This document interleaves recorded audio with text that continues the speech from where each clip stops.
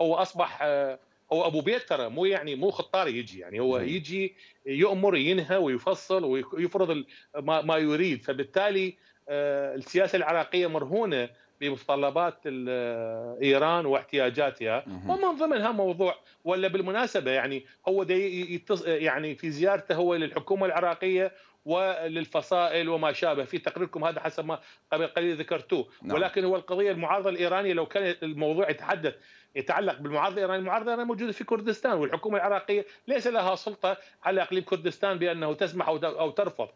فبالتالي هو آه، المفروض أنه هذا الكلام إذا كان يتعلق بالمعارضة الايرانيه المفروض يتكلمون مع كردستان،.